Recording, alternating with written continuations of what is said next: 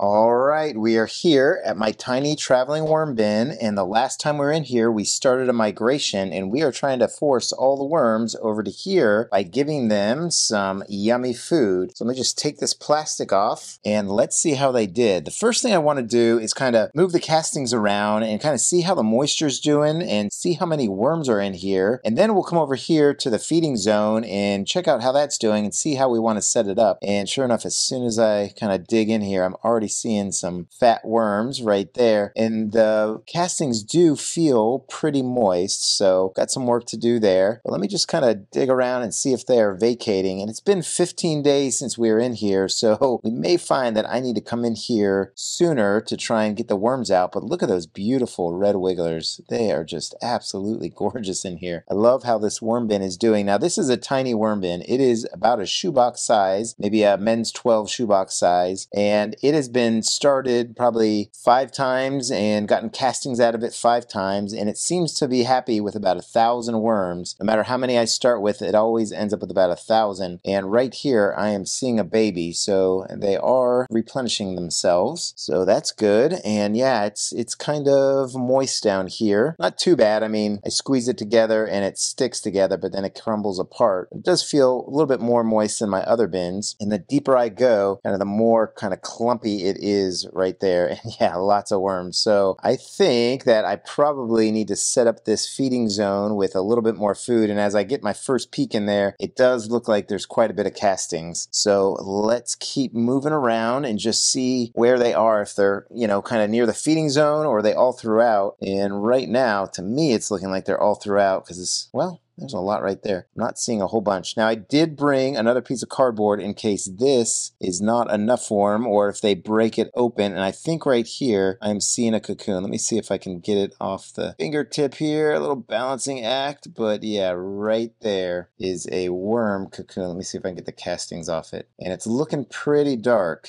So I believe that means it's fairly new. And we've got a tiny baby right there. I forget if it's dark if they're new or if it's light if they're new. But let me go ahead and mix around and we will come back to that feeding zone. So as I'm doing this, I'm finding lots of worms in here. So it doesn't look like there's a whole lot of migrating going on. So I am learning, trying to kind of emulate what AV does with his migrations. And I think the biggest lesson learned from me here is I probably need to get in here once a week. So so what I'm going to do is just kind of pile the castings over here. I'm not even going to worry about maybe trying to help the worms get towards the feeding zone. Let's just try and set this up. And I'm thinking what I want to do long term is continue to move the barrier over to this direction and maybe even, you know, slowly harvest this off each time I check in till this becomes smaller. And then next thing I know, I've moved this all the way across and I've got a brand new uh, worm bin going. Let me know what you think in the comments if I should do that or if I should just pull the worms out, harvest, and restart. So this is kind of falling apart, and I am seeing a lot of mites on it as well. Let me see if I can kind of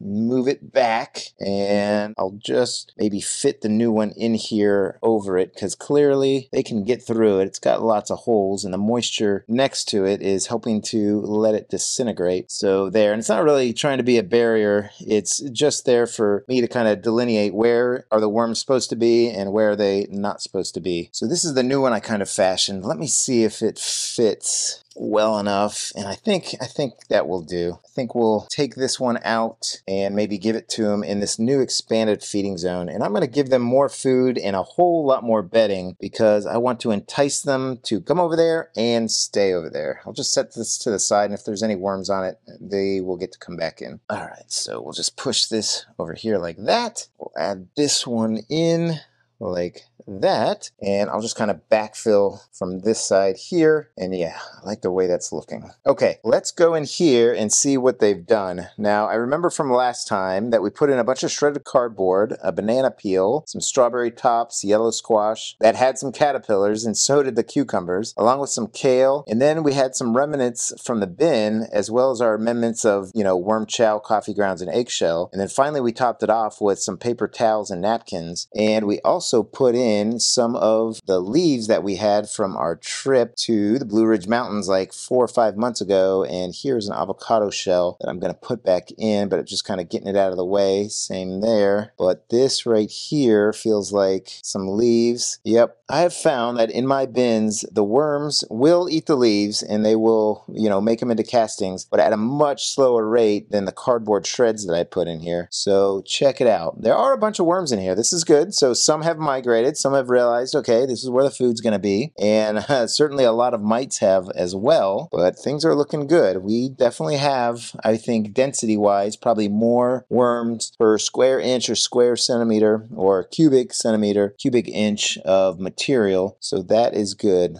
Perfect, just like that. Okay, I think right now we can start to go in with some more bedding. We've got a good setup here. I'm happy with kind of the volume that's over here and then what's over here, so I think we're ready to go. So I think we'll start off with that last migration kind of barrier cardboard right there just kind of help them break it up a little bit, just like that. And then I'm going to add in a lot of shredded cardboard, and you might be able to notice that this time I'm putting damp shredded cardboard in. Typically for my bins, I don't put the shredded cardboard in damp. I usually put it in dry and then allow all the frozen food that I've put in here to kind of wet it down. But because we're in the summertime and the air conditioning is kind of ripping out the humidity, I'm finding that I need to add just a little bit of moisture. And every time I feed my worm bin, I kind of judge the moisture level to see if we need to do something like this. So here's what we had in mind to feed, and I don't think we're going to get to all of it, but I am going to pick out some of the more juicy stuff for them. So we'll throw in an apple and a good cucumber slice there, and then another cucumber slice that it looks like we had cut open and then not gotten to, so it stayed in the refrigerator for a while, so the edges are a little buckled in, but it's still slightly frozen, so I'm having a little bit of trouble breaking it up just with my hands, but I think they will not have a problem getting to it. It's a fan favorite for the worms. And then we've got an assortment of carrots and strawberry tops and a little piece of banana and some lettuce, that kind of thing. Put another little piece of banana right there and a couple more carrots. I think that's pretty good for a feeding. In fact, I think the executive producer probably thinks that's a little too much for a feeding. A hundred percent, yes. But hey, the idea is to try to attract the worms over here and get them to vacate the other side. So we'll do that with a little bit more food. And as you know, I usually tell you, be careful with how much you feed. I usually have four or 5,000 worms in my worm bins. This one only has a thousand, but because I'm going to get in here every seven days, I'm not too worried about overfeeding them. It's also a really mature worm bin that has all kinds of bin critters and microbes in it that are going to be able to take that food and, you know, help the worms turn it into castings. So I put in some worm chow and I put in some used coffee grounds and this is just some eggshell grit that we grind up in our Magic Bullet blender and it does a great job of getting it almost into a powder form so that the worms can use it in their gizzard. Alright, so I'm to try and do a good job here of covering this feeding zone up with more of this damp shredded cardboard and I probably will top it off with some dry stuff as well. It's always a good idea to make sure your food scraps are completely buried so you don't get any kind of unwanted critters like flies or gnats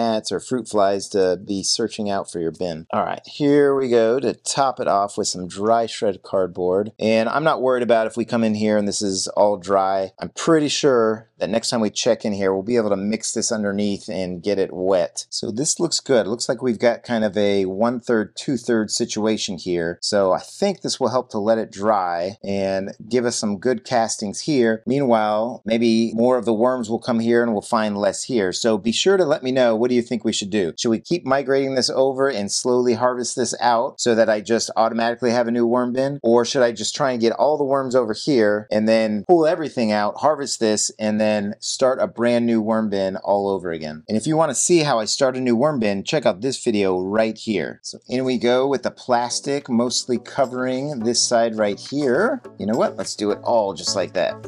Boom. So I hope you're having a great day. I hope your worm bins are doing well. So happy vermicomposting, everybody. Take care now.